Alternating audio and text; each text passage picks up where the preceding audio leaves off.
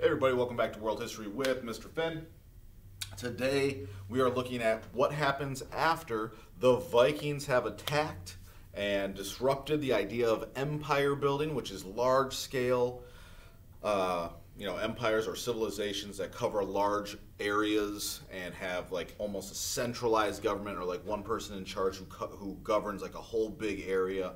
Uh, the Vikings came through uh, as well as the Muslims and the Magyars, and kind of broke up the idea of, you know, a larger scale civilization uh, because people were scared. People would attack. Uh, if you have a huge empire, what happens if someone's attacking way out there? How do you get there to defend those people? How do you defend those people on this side? How do you defend those people down there? It's hard when you have a large area of land that you are in charge of. And so, as these invaders have been attacking from the 800s to around the year 1000, like we looked at last class, a new system of social order and government takes place. Uh, and this system is going to be called feudalism. So I will write the definition here for you. It's a it's both a social and political system. And we use the term social because it's actually going to not just, it's not like a form of government. It's not like democracy and then it explains just the government. But social means within feudalism, it basically tells everyone how to act, what their position in life is, uh, what their role in society is. So it's both a social and a political system that comes out of necessity, really.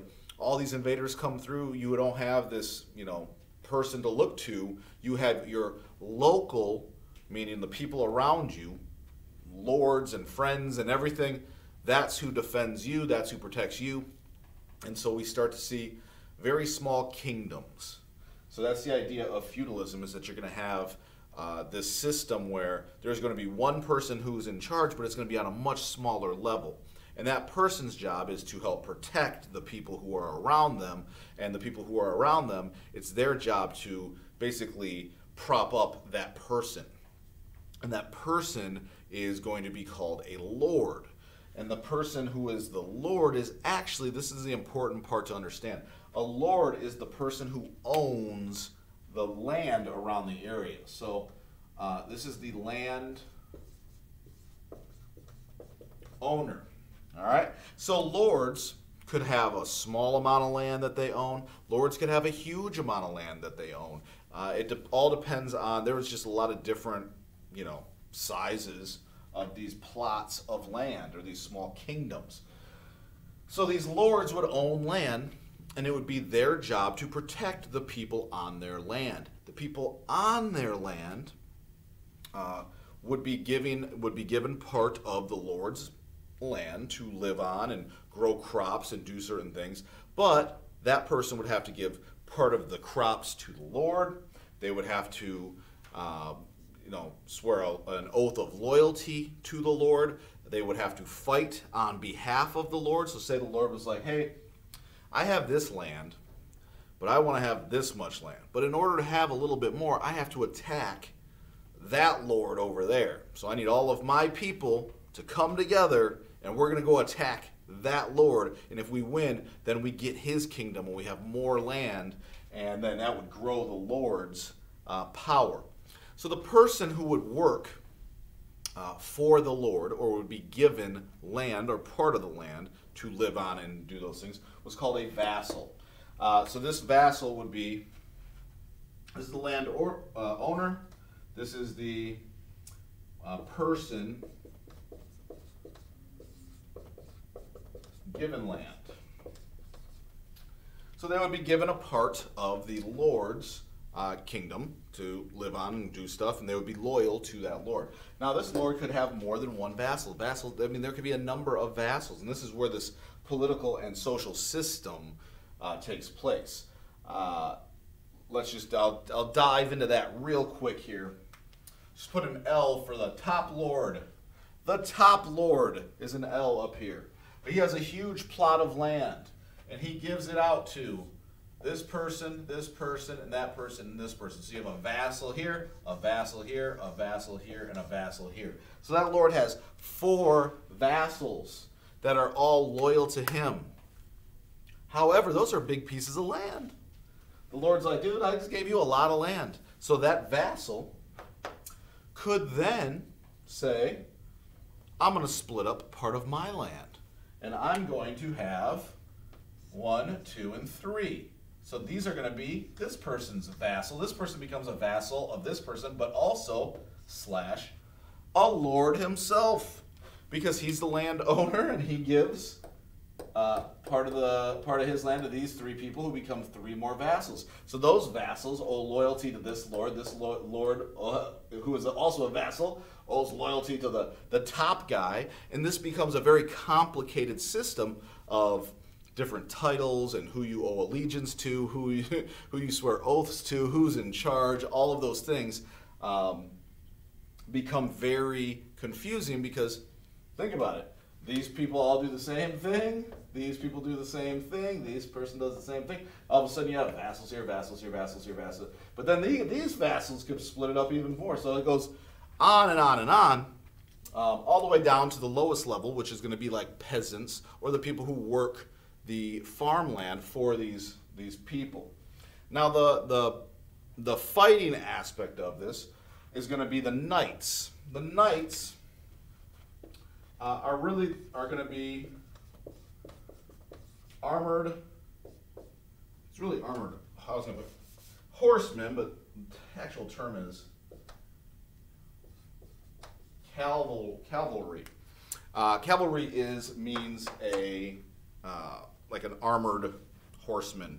I mean, cavalry actually just means a horseman. It doesn't need to be armored, but it's part of the military. The people that ride on horses are the cavalry. Um, and these are what knights are. Knights would be the ones who would carry out the fighting uh, on behalf of uh, the lords. They would be vassals themselves in some cases. They would be, you know, in charge of providing their own armor and things like that. But they would be pretty high up uh, in the ranks of people. Uh, and then again, at the end, you are going to have everyday people or peasants peasants are again landless. They don't own any land. They just work the land. They would be. It would be a hard life. It would be. I mean, you wouldn't want to be a peasant because a peasant would be someone um, who just literally worked for a a lord. It would be. And not for a lord, but one of the vassals. I mean, you wouldn't even have a lord really. You would just be, you know, just work for your like master of your area.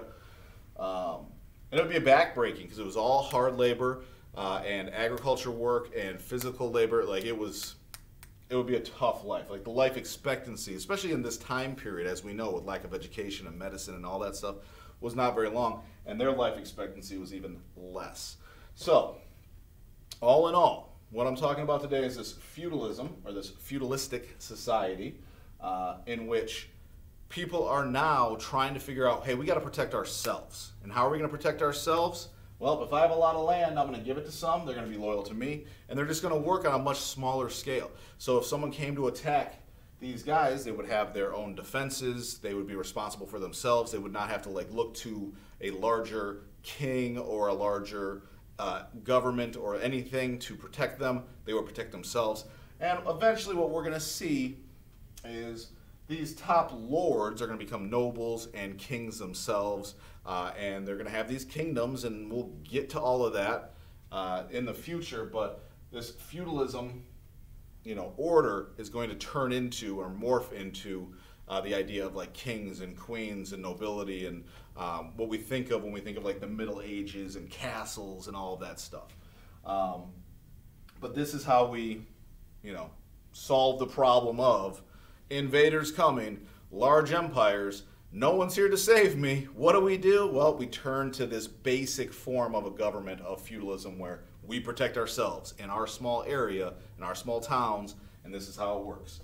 Uh, hey, it's quiz today. So get a piece of paper or on your notes and write one through five. And let's do a quick quiz. We've been going over a lot of stuff. And one, two, three, four, five. Let's begin, shall we? Since it's on on uh, YouTube. Let's not go back far. Let's start here. This person, this is going to be recent. Ready? This person is the head of the Catholic Church. He is the person who is in charge at this time of all of Christianity. This person is the person in charge or the head of the Catholic Church. That is number one. Who is the head of the Catholic Church? Oh, we got to go way back. Sorry. Not way back, but back to this. Ooh. You know what? I don't know if I asked this one. I don't know if I wrote it down. So I'm not going to ask it because I don't I want to be sure, but I know I know I know I did this one. In the chapter on Islam, we talked about uh, Islamic society, and one of the things was an open uh, air but a covered marketplace in the Islamic world was called a what for number two? A covered it's a covered marketplace. It would be out in the open, but it would be covered because it was sunny. Covered marketplace. Um, oh, there's another one. Uh, staying in, uh, staying in the Muslim or Islamic chapter. Number three is who was Muhammad's wife? Who was Muhammad's wife for number three? If you remember, she actually encouraged him to get out there and tell everyone that he was getting visions and messages from Allah or God. What was her name? What was her name? Uh, I feel like I asked this one already, so I'm going to go back to one that I have not asked. Let's go. I always fall on the same ones. I don't know why that happens. So I want to. I do want to mix it up so it's not, you know, too easy. I'm looking for a term here. Looking for a term. I got one. Actually, I think I might have actually just talked about him the other day. I don't remember why. Number four, what was uh, the other name for Octavian? Octavian was in the second triumvirate of Rome.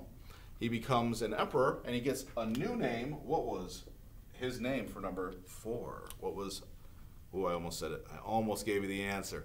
Octavian's new name, what was it? Uh, last one, let's go, just flip this way back. Way back. We're in India. Going way back to India. All right, let's do this. I gave you two rivers in uh, India. There are two major rivers in India. You just got to give me one. Number five, the chapter on India, uh, when we started talking about monsoons and the Himalayas and part of the geography of India, I told you about two rivers in India. Give me one of those two rivers. And that's the news. So make sure you get me this. Show me your notes and your quiz for today for attendance and uh, attendance and participation purposes. And I will see you next class.